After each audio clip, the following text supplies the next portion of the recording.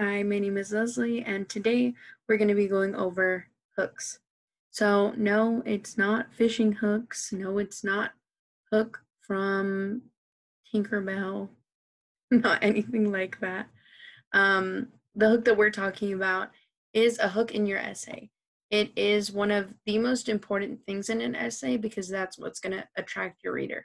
The reason that it's even called a hook is because you want to hook your readers and you want to make sure that the people who are going to read your essay are interested in it. It's like when you pick up a book in a store. Usually you read the back page, or most people read the first page. And if they're interested in it and they're interested in the hook of it, they get it and they buy it. So I'm really interested in kind of getting to show you guys a little bit about how you can balance everything um, and make sure that your hook is something that is going to bring your readers in to read it. Um, and it's really not going to be that difficult for you, I promise. If you're struggling with it now, you won't be soon because I'm giving you the exact examples of things that you can use for a hook. So, what can I use for a hook? Really, you can use just about anything that's going to be interesting. But some great examples that I have are quotes. So, quotes can be something that are a really good, easy hook because if your quote is empowering, people are going to want to read more about it. Let's say, think of a quote from one of your favorite people, um, or like um, Martin Luther King Jr.'s speech and his I Have a Dream, and how, you know, that's kind of how it starts out. Those kinds of hooks and those kinds of quotes, especially if someone knows it, that's going to draw them in and it could also solidify what you're trying to come across as. And yeah, pretty much just like number two, write a quote from a famous person. So you could use a quote from a, a, just a random person or a quote from a famous person that people can relate to, like Michael Jordan, anything. Surprise with a misconception. So, um, a misconception, for those of you who don't know, that's something that people think they know, but don't really. Or um, think of it for an example of a misconception or black cats. Um, a lot of cultures um, and a lot of different people believe that black cats are a sign of bad luck.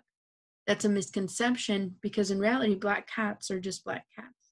So you could surprise with a misconception and maybe even open up in that way and, and talk about how, um, you know, black cats have been seen for ages as, you know, bad luck and how they bring bad luck.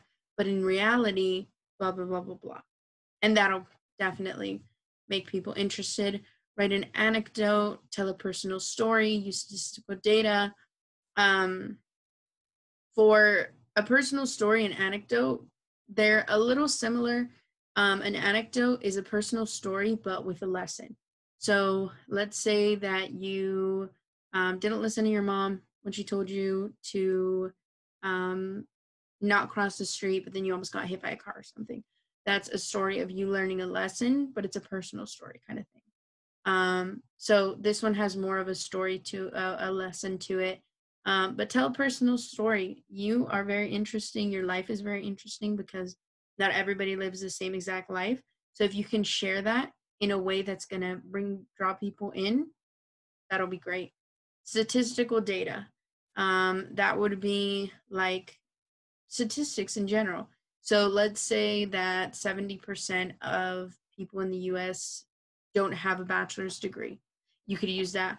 Or if um, 80% of um, 80% of let's say of dogs can shake paws or something something interesting um, you can find statistical data really anywhere um, it, it's like specifically if you're looking into a demographic or, or a person or an area you could just type in like phoenix statistics or things like that and, and it always comes up ask a question that's also a really great hook um, you want to reel people in by asking them a question so you could even say how many of you have ever lost a friend that's instantly going to draw people in because they're going to read that and they're going to be like, hey, I've lost a friend. What's this about? You know, something like that. Share a fact or definition. Um, you could also share a really cool fact. This kind of goes along with statistical data.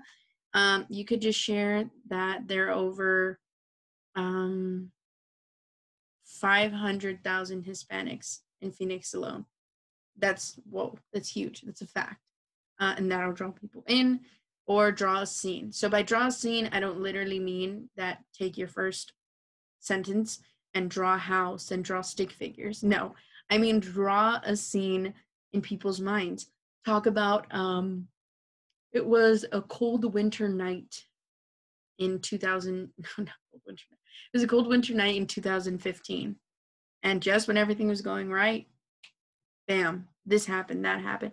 Draw just allow give people details so that they're able to kind of form their own opinions and their own ideas in their head. kind of like telling a story. So a hook should be the first sentence of every essay. I said or first and second because if you have a longer quote, if you have a longer story, you can it can be the first two sentences of your essay, but always the first things in your essay, hands down. Um, when you're writing an essay, it shouldn't be boring or too formal because you want your readers to be really into it. So if you try to be too formal from the beginning, and you're not going to enjoy writing it, and people aren't going to enjoy reading it. So be yourself. Obviously, don't talk in an essay as you would with your friends, like uh, LOL, LMA, and you know, like make sure that you are uh, being formal, but not too formal. Still be yourself. Those personal stories are honestly really awesome to start off with because that's you being yourself.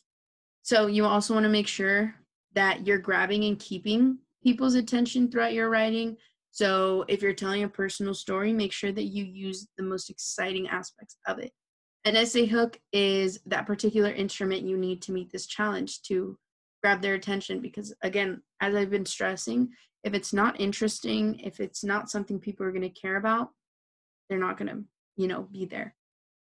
And I have some really awesome examples for you guys of of kind of different hooks that you could start exploring so let's say you wanted to start off with a question. A really good question to ask could be What's the purpose of our existence? I read that and I think about it and I'm like, Whoa, what's this essay going to be about? What is the purpose of our existence? You know? um, another great hook is quotation hook. So that quotation hook is going to have to do when you use quotes, um, quotes from a famous person, really anything. Um, and I think this one in particular is for Michael Jordan. So some people want it to happen, some wish it would happen, others make it happen. Pretty deep. Pretty deep. So when I read that, I'm like, whoa. So some people just want things to happen, some people wish things would happen, but other people are actively out there making it happen. So automatically I want to read that essay. That's a great quote. I want it, you know? A statistical hook. Um, so this is kind of where we're talking about statistics and showing um, different percentages and, and stuff like that. Mm-hmm. So, in the statistic hook, we have reports have shown that almost two thirds of adults in the United States of America have lived in a place with at least one gun at some point in their life. Two thirds of adults in the US. It's crazy. So, again, that's a statistical hook that's going to draw people in. A personal story. So, here's a great example um, as well if you wanted to kind of talk if your personal story relates to what it is that you're talking about in your essay. So for this personal story, they say, My father was in the Navy. I basically grew up on a cruise. As a young boy, I saw things beyond anyone's imagination. On April 15th, 2001, and I really want them to continue going, but that's the point of the hook. That he tells you his father was in the Navy, he grew up on a cruise, and he saw things beyond anyone's imagination. What did you see? I want to know. I want to read. A persuasive essay. Um, so for this particular example, I don't want you to think that for a persuasive essay, this is exactly what you need to say, but this is a great example of a hook that would definitely work for a persuasive essay. So here it states, at average each year, humans release 38.2 billion tons of carbon dioxide approximately. Due to this, the level of carbon dioxide has increased significantly, more than it has been in centuries. If you think climate change is nothing to worry about, then you are highly mistaken that if you think climate change is nothing to worry about, then you're highly mistaken. That's pretty big because that's kind of making you think and it's making you want to continue to read this to see how they defend the use of carbon dioxide. So really, it's this whole thing right here that sells it for you in the persuasive essay. So I really hope that this has helped you guys at least in some way that you can take some of these examples and maybe start messing around with them. Find some cool statistics, start looking into some quotes, write them in your planner.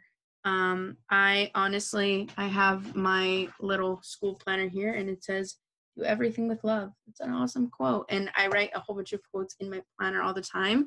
And when it comes down to writing um, essays and different things, I already have an idea of, a great quote that I'd like to use. So maybe do a little bit of that. Uh, definitely believe in you guys. I know you guys can do it. Go rock it.